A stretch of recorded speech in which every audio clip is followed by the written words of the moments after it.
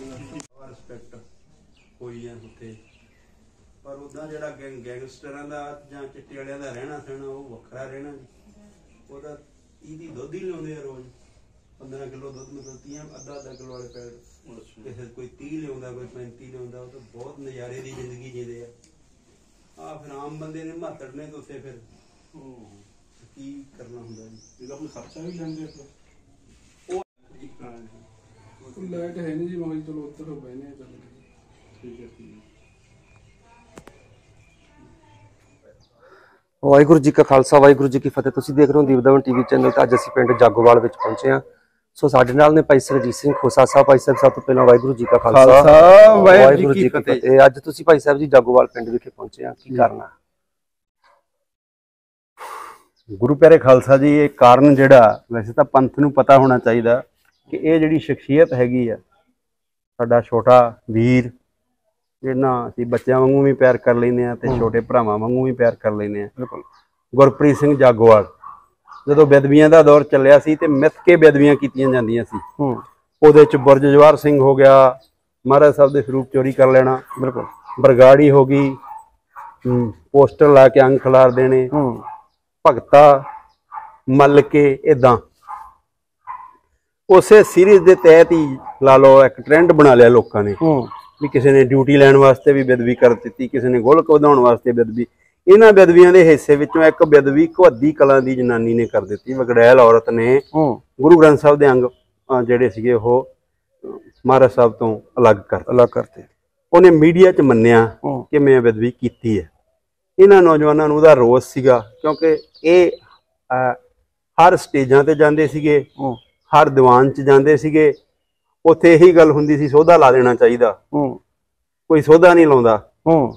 ਪਰ ਇਹਨਾਂ ਨੇ ਲਾਤਾ ਹੁਣ ਇਹਨਾਂ ਦੀ ਕੋਈ ਸਾਰ ਲੈਣ ਨਹੀਂ ਆਉਂਦਾ।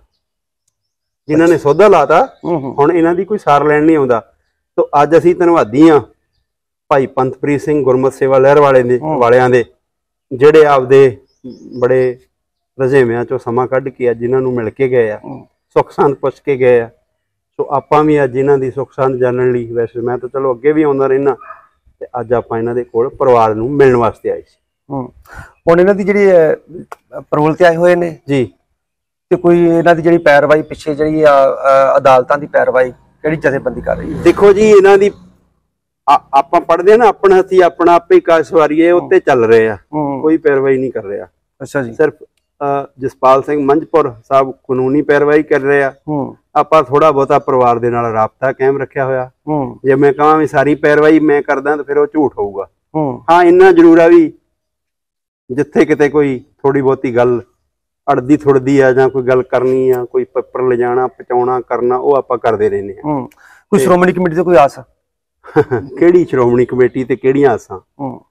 ਜਿਹੜੀ ਸ਼੍ਰੋਮਣੀ ਕਮੇਟੀ ਜਿਹੜੇ ਪਰਿਵਾਰ ਦੇ ਟੁਕੜਾਂ ਦੇ ਉੱਤੇ ਪਲਦੀ ਆ। ਹੂੰ। ਜਾਂ ਜਿਹੜੀ ਜਿਹਨੇ ਸ਼੍ਰੋਮਣੀ ਕਮੇਟੀ ਨੇ ਆਪ ਦਾ ਆਕਾ ਬਣਾਇਆ ਹੋਇਆ ਹੂੰ। ਟੁੱਕੜ ਸ਼ਬਦ ਮੈਂ ਵਾਪਸ ਲੈ ਲੈਣਾ ਵੀ ਉਹ ਉਹ ਉਸ ਪਰਿਵਾਰ ਨੂੰ ਸ਼੍ਰੋਮਣੀ ਕਮੇਟੀ ਪਾਲਦੀ ਆ। ਹੂੰ। ਉਹ ਮਤਲਬ ਉਹ ਉਹਨਾਂ ਦੇ ਰਾਜ ਸੀਗਾ ਉਦੋਂ 2016 ਚ ਅਕਾਲੀਆਂ ਦਾ। ਤੇ ਯੂਏਪੀ ਲਾਈ ਆ। ਜਿਹੜੇ ਅੱਜ ਟਾਰਾਂ ਮਾਰਦੇ ਆ ਬੰਦੀ ਸਿੰਘ ਰਿਹਾ ਕਰੋ। ਤੇ ਇਹਨਾਂ ਨੂੰ ਤੇ ਅੱਤਵਾਦੀ ਬਣਾਇਆ ਸੀ ਤੁਸੀਂ। ਜਸਪ੍ਰੀਤ ਸਿੰਘ ਉਰਫ ਨਿਹਾਲ ਸਿੰਘ ਤੇ ਗੁਰਪ੍ਰੀਤ ਸਿੰਘ ਜਾਗੋਵਾਲ ਉਰਫ ਬਾਬਾ ਇਹ। ਦੋ ਨੌਜਵਾਨ ਤੁਹਾਨੂੰ ਯਾਦ ਆ ਭਲਾ? ਤੇ 16 ਮੁੰਡੇ ਹੋਰ ਫੜ ਲਏ ਸੀ ਤੁਸੀਂ ਨਾਲ 15 16 ਉਹ ਵਿਚਾਰੇ ਜਿਨ੍ਹਾਂ ਨੇ ਕੁਝ ਕੀਤਾ ਵੀ ਨਹੀਂ ਹੈ।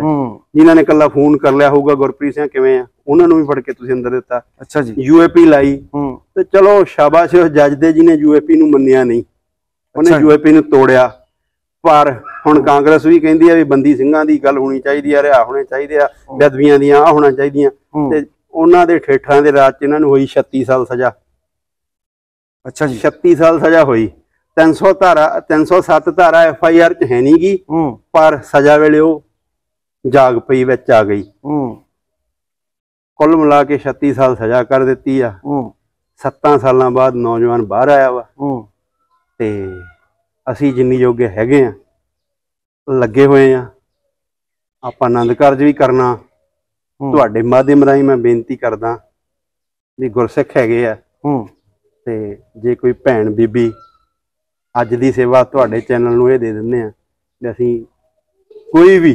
ਕਿਉਂਕਿ ਇਹਨਾਂ ਸੂਰਮਿਆਂ ਵਾਸਤੇ ਸੂਰਮਾ ਹੀ ਖੂਨ ਚੋਂ ਹੀ ਕੋਈ। ਨਿਤਰੂਗਾ। ਬਿਲਕੁਲ ਜੀ ਸੋ ਆਪਾਂ ਅਗਲੀ ਵਾਰ ਜਦੋਂ ਇਹ ਜ਼ਮਾਨਤ ਤੇ ਆਉਂਦੇ ਆ ਜਾਂ ਪਰੋਲ ਤੇ ਆਉਂਦੇ ਆ ਤੇ ਕੋਸ਼ਿਸ਼ ਕਰੀਏ ਜਿਹੜੇ ਵੀ ਸੁਣਨ ਵਾਲੇ ਹੈਗੇ ਵੀਰ ਪਰਿਵਾਰ ਆਪਾਂ ਪਰਿਵਾਰ ਵੀ ਵਸਾਈਏ ਕਿਉਂਕਿ ਅਸੀਂ ਅੱਗੇ ਨੂੰ ਵੀ ਚੱਲਣਾ ਵਾ। ਬਿਲਕੁਲ। ਅਸੀਂ ਪਛਾਣ ਵਾਲੀ ਗੱਲ ਨਹੀਂ ਕਰਨੀ। ਸੋ ਇਹਨਾਂ ਦਾ ਜਿਹੜਾ ਇਹਨਾਂ ਨੇ ਕਾਰਜ ਕੀਤਾ ਉਹਦਾ ਕੌਮ ਦੇਣਾ ਨਹੀਂ ਦੇ ਸਕਦੇ। ਬਹੁਤ ਵਧੀਆ ਸੀ। ਇਹ ਸਨ ਭਾਈ ਸੁਖਜੀਤ ਸਿੰਘ ਜੀ ਖੋਸਾ ਜਿਨ੍ਹਾਂ ਨੇ ਇੱਕ ਅਪੀਲ ਕੀਤੀ ਹੈ ਕਿ ਆਪਾਂ ਇਸ ਵੀਰ ਦਾ ਜਿਹੜਾ ਪਰਿਵਾਰ ਵੀ ਜਿਹੜਾ ਗਾਂ ਕੁੱਲ ਵੀ ਵਧਾਉਣ ਦਾ ਯਤਨ ਕਰਨਾ। ਵੀਡੀਓ ਵੱਧ ਤੋਂ ਵੱਧ ਸ਼ੇਅਰ ਚੈਨਲ ਨੂੰ ਸਬਸਕ੍ਰਾਈਬ ਤੇ ਲਾਈਕ ਕਰਨਾ ਨਾ ਭੁੱਲਿਓ। ਤੁਸੀਂ ਦੇਖ ਰਹੇ ਹੋ ਦੀਪਦਮਨ ਟੀਵੀ ਚੈਨਲ ਵਾਹਿਗੁਰੂ ਜੀ ਕਾ ਖਾਲਸਾ, ਵਾਹਿਗੁਰੂ ਜੀ ਕੀ ਫਤਿਹ।